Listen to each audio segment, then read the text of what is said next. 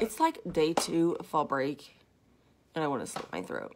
It's torture. I can't handle it. Then I'm listening.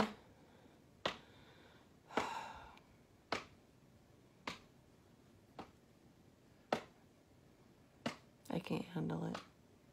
I'm not cut out for this. As I'm being hit.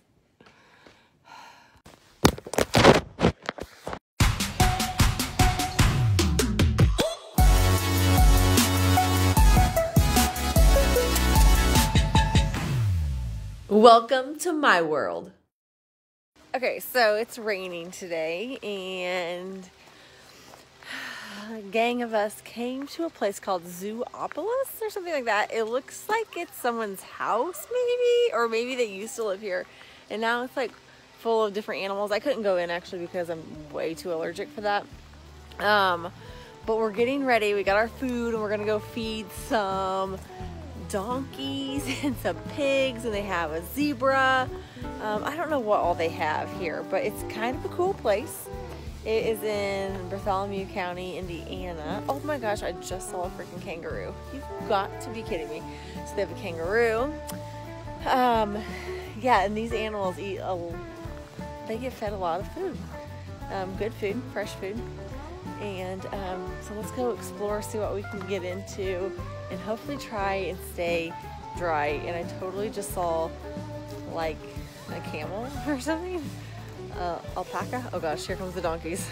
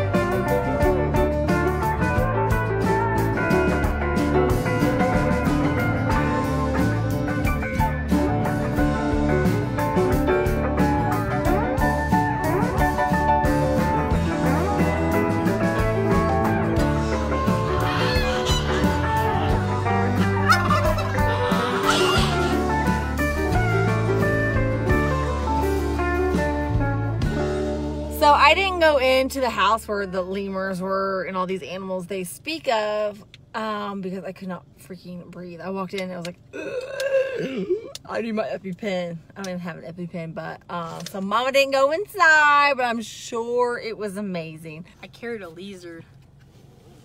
I didn't get to pet the wolf, but I carried a lizard. The donkey and, uh, and the lemurs trying to take Keller's phone. That was your favorite. The cat and my dog were their favorites. The alpaca tried to kick me, but I didn't start following me. So when I tried to pet it, it tried to kick me again. So I was really confused at that point. Also, the lemur tried to take my phone, as Brody said. It's like a raccoon monkey. It's like a mix between them, kind of. It was funny. They were weird. They like they like took their little noses and like shoved in your pants. I don't know why, but they were really interested in these pockets. Like I think one actually went through my pocket. I was like, I hung out with the donkeys and and the zebra and the turkeys were crazy. Those turkeys and even the ducks were kind of aggressive. oh, the goat got out. The alpaca was a funny little thing. I had a bowl of food and it would like nudge the grapes out of the way just so it could eat the carrots. Like it knew what it wanted and didn't want. It's picky, like the, unlike the pig. Oh, there was a pig too. Yeah. The pig was cute. The pig got down my pants. I pet a raccoon. Oh, there's also a red and silver fox. I didn't see it. I saw his cage, but I didn't see it. Yeah, there was. Re- they were fighting. They're like, ah. What sound is that? So, will I ever come back? Yes. Will I let my kids come back? Yes. Will I come back? Yes. No.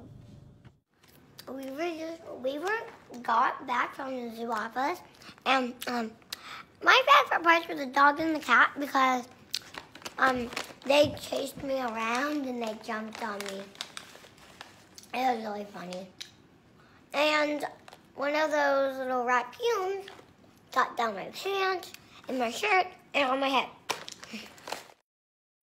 Oh my gosh. I just kicked up my feet and sat down on the couch to relax from a wild freaking day with two of my nephews and Ruby K, and I am freaking exhausted. I'm just exhausted. We played so hard today, and I'm ready for fall break to be over with. Like it's torture. These kids need to be in school for real learning, not with me. no, I'm only kind of kidding. Like kind of kidding. I had fun with them. It it was good. It was a rainy day, um, but we had fun checking out all the animals and just laughing and playing. They got along really well today. And so I am just kicking back on the couch. And I'm I'm going to bed early tonight. It's going to be an early early night. So, I'll see you guys next week. Bye now.